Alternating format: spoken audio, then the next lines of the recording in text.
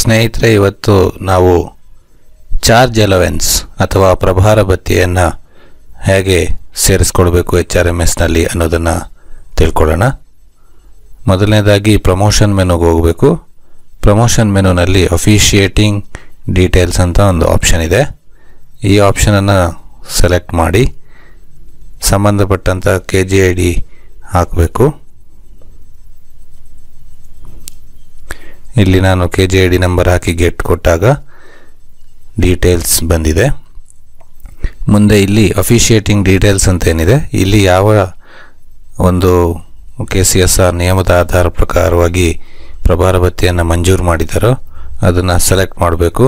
ನಾನು ಉದಾಹರಣೆಗಾಗಿ ಒಂದು ಎಡಿಷನಲ್ ಚಾರ್ಜ್ ಮೇಲೆ ಆದೇಶ ಆಗಿದ್ದರೆ ಅದನ್ನು ತಗೊಂಡು ಫ್ರಮ್ ಡೇಟ್ ಕೊಡಬೇಕು.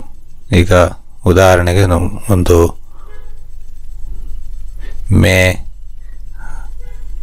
ಒಂದನೇ ತಾರೀಕಿಂದ ಟೂ ಡೇಟು ಜುಲೈ ಎಂಡ್ವರೆಗೆ ಕೊಟ್ಟಿದ್ದಾರೆ ಅಂತ ಭಾವಿಸ್ಕೊಂಡು ಅಲ್ಲಿಗೆ ಕೊಟ್ಟಿದ್ದೀನಿ. ಕೇಡರು ಇಲ್ಲಿ ಉದಾಹರಣೆಗೆ ಈಗ ಒಂದು ನಮ್ಮದು ಯಾವುದು ಕೇಡರ್ ಇದೆಯೋ?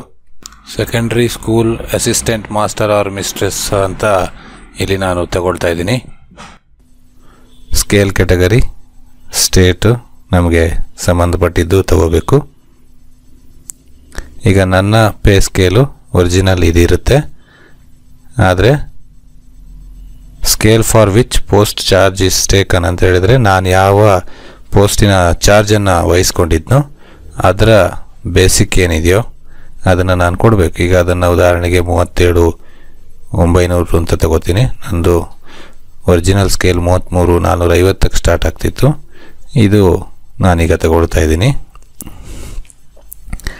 ಆಗ ನಿಯಮದ ಅನ್ವಯವಾಗಿ ಶ್ರೇಣಿಯಲ್ಲಿ ಆರಂಭದ ಬೇಸಿಕ್ಕಿಗೆ ಎಷ್ಟು ಪರ್ಸೆಂಟ್ ಕೊಡಲಿಕ್ಕೆ ಅವಕಾಶ ಇದೆಯೋ ಅಷ್ಟು ಇಲ್ಲಿ ಅಮೌಂಟನ್ನು ಅದು ಆಟೋಮೆಟಿಕ್ ಕ್ಯಾಲ್ಕುಲೇಟ್ ಮಾಡಿ ತೋರಿಸ್ತಾ ಇದೆ. ಅದು ಸೆವೆನ್ ಪಾಯಿಂಟ್ ಫೈವ್ ಪರ್ಸೆಂಟ್ ಆಗಿರ್ತದೆ.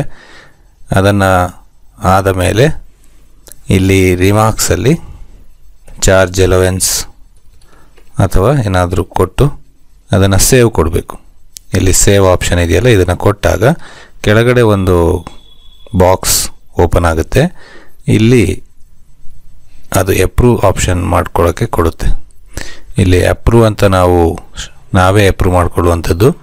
ಎಪ್ರೂವ್ ಕೊಟ್ಟ ತಕ್ಷಣ ಎಪ್ರೂವಲ್ ಲಿಸ್ಟಲ್ಲಿ ಅದು ಬರುತ್ತೆ.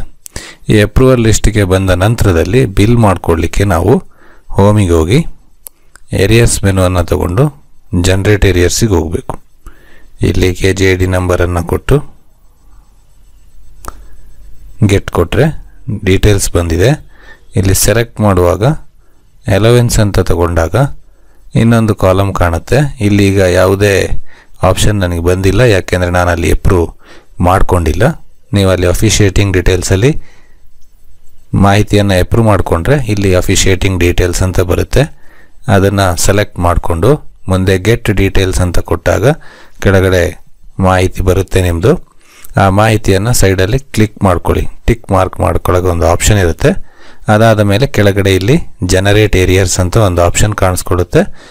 ಇದು ಬೇರೆ ಏರಿಯರ್ಸ್ಗಳನ್ನು ಜನರೇಟ್ ಮಾಡಿದ ರೀತಿಯಲ್ಲೇ ಅಲ್ಲಿ ಜನರೇಟ್ ಏರಿಯರ್ಸ್ ಕೊಟ್ಟ ಕೂಡಲೇ ಏರಿಯರ್ಸ್ ಸಕ್ಸಸ್ಫುಲಿ ಜನರೇಟೆಡ್ ಅಂತ ಮೆಸೇಜ್ ಬರುತ್ತೆ. ಅಂದರೆ ಅಲ್ಲಿಗೆ ಜನರೇಟ್ ಆಗಿದೆ ಅಂತ ಅರ್ಥ. ಮುಂದೆ ನೀವು ಅದನ್ನು ಸರಿ ಇದೆಯಾ ನೋಡ್ಕೊಳ್ಳೋದಕ್ಕೆ ಏರಿಯರ್ಸ್ ಮೆನುನಲ್ಲಿ ಏರಿಯರ್ ರಿಪೋರ್ಟ್ಸ್ ಬಿಫೋರ್ ಅಪ್ರೂವಲ್ಲು ಇಲ್ಲಿ ಲಾಸ್ಟ್ ಆಪ್ಷನ್ ಇದೆ ನೋಡಿ charge or officiating arrear report ಅಂತೇಳಿ. ಇಲ್ಲಿಗೆ ಹೋದರೆ ಯಾವ ತಿಂಗಳಿಂದ ಯಾವ ತಿಂಗಳಿಗೆ ಕೊಟ್ಟಿದ್ದೀರಿ ಹೆಡ್ ಆಫ್ ಅಕೌಂಟ್ ಏನಿದೆ, ಎಲ್ಲ ಡೀಟೇಲ್ಸ್ ಕೊಟ್ಟು ಎಲವೆನ್ಸ್ ಆಪ್ಷನನ್ನು ತಗೋಬೇಕು. ಅಫಿಷಿಯೇಟಿಂಗ್ ಎಲವೆನ್ಸ್ ಅಂತ ತಗೊಂಡ್ರೆ ಇಲ್ಲಿ ನೀವು ವೀವ್ ರಿಪೋರ್ಟಿಗೆ ಹೋದಾಗ ಏನಾಗುತ್ತೆ? ಅಲ್ಲಿ ಯಾವ್ಯಾವ ತಿಂಗಳದು? ಮೂರು ತಿಂಗಳಿಗೆ ನೀವೇನೀಗ ಕೊಟ್ಟಿದ್ದೀರಿ, ಆ ಮೂರು ತಿಂಗಳ ಅವಧಿಯ ರಿಪೋರ್ಟನ್ನು ಅದು ತೋರಿಸುತ್ತೆ. ಅದು ಸರಿ ಇದೆ ಅಂತ ಆದರೆ ಹೋಮಿಗೆ ಬಂದು ಅದನ್ನು ನೆಕ್ಸ್ಟ್ ಸ್ಟೆಪ್ಪಲ್ಲಿ ಎಪ್ರೂವ್ ಆಲ್ ಏರಿಯರ್ಸ್ ಬಿಲ್ಲಿಗೆ ಹೋಗಿ ಅಲ್ಲಿ ನೀವು ಎಲ್ಲ ಆಪ್ಷನ್ಸನ್ನು ತುಂಬಿ ಗೆಟ್ ಅಂತ ಕೊಡಿ. ಡೀಟೇಲ್ಸ್ ಬರುತ್ತೆ. ಆ ಡೀಟೇಲ್ಸ್ ಸರಿ ಇದ್ದರೆ ಇಲ್ಲಿ ಎಸೆಪ್ಟ್ ಆಲ್ ಅಂತ ಇರುತ್ತೆ. ಎಸೆಪ್ಟ್ ಆಲ್ ಅಂತ ನೀವು ಕೊಟ್ಟರೆ ಬಿಲ್ ಎಪ್ರೂವ್ ಆಗುತ್ತೆ. ಎಪ್ರೂವ್ ಆದ ನಂತರ ಮತ್ತೆ ಹೋಮಿಗೆ ಹೋಗಿ ಏರಿಯರ್ ರಿಪೋರ್ಟ್ಸ್ ಆಫ್ಟರ್ ಎಪ್ರೂವಲ್ ಇದು ಎಲ್ಲ ಏರಿಯರ್ಸ್ನ ಹಾಗೆಯೇ ಇಲ್ಲಿ ಮಾತ್ರ ಆಪ್ಷನ್ ಕೊನೆಯಲ್ಲಿದೆ ಚಾರ್ಜ್ ಅಥವಾ ಅಫಿಷಿಯೇಟಿಂಗ್ ಏರಿಯರ್ ರಿಪೋರ್ಟ್ ಅಂತೇಳಿ. ಈ ಆಪ್ಷನಲ್ಲಿ ಹೋಗಿ ನಿಮ್ಮ ಬಿಲ್ಲನ್ನು ಡೌನ್ಲೋಡ್ ಮಾಡಿಕೊಂಡು ನೀವು ನಿಮ್ಮ ಚಾರ್ಜ್ ಅಲವೆನ್ಸನ್ನು ಪಡ್ಕೊಳ್ಬೋದು. ಎಲ್ರಿಗೂ ಕೂಡ ಇದು ಅರ್ಥ ಆಗಿದೆ ಅಂತ ಅಂದ್ಕೊಳ್ತೀನಿ ಧನ್ಯವಾದಗಳು.